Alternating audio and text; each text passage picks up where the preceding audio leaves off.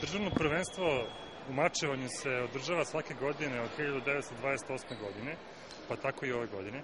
Za one koji ne znaju toliko o mačevanju, u mačevanju postoje tri oružja, to su mač, floret i sablja, i postoje e, dve kategorije, znači muško i žensko, e, za muškarce i za žene, i postoji još dve kategorije pojedinačno i ekipno prvenstvo.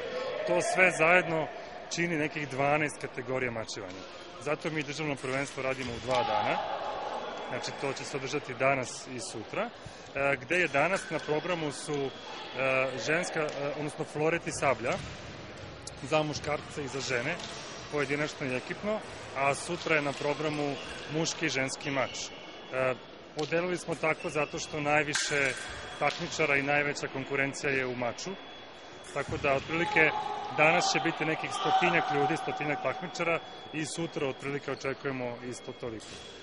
E, postoji 20 klubova u Srbiji, od kojih je možda 15-16 izlazi na ovo državno prvenstvo i e, mi imamo u svakoj kategoriji najmanje 8 klubova, tako da je konkurencija stvarno nije mala. To je teško pitanje. Mi smo se trudili da Dobro, posjećenost na državnom prvenstvu i nije nešto naročito velika nikada bilo, ali e, Mačevalački savez Srbije organizuje neke svetska takmičenja, svetske kupove, gde dolaze najbolji mačevalci iz celog sveta i mi se tom prilikom trudimo da privučemo što više ljudi gledalaca na takmičenje. Naravno, e, to uvek može da bude bolje, mi nikad nismo zadovoljni. E, tim pre što je mačan jedan vrlo interesantan sport ja verujem da je svima interesantno da vide uživo kako to izgleda.